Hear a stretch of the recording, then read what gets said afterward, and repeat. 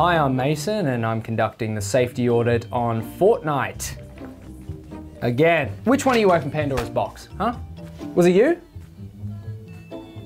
Maybe. Look, I'll be the first to admit, I'm not proud of it. But when a giant hand comes out of the earth clutching a massive chest, my first question is, what's inside? Well, second question. My first question would be, where did this giant hand come from? But I hardly see how that's relevant. I see Mount Olympus is back. That's cool.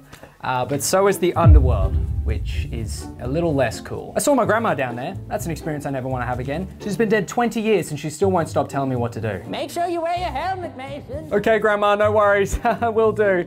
It's literally on my head right now. And what's all this power of the gods business? I saw a guy shooting Zeus's thunderbolts at a banana just before. Where did he even get that? This is going to take a whole season to get sorted. I can see it now.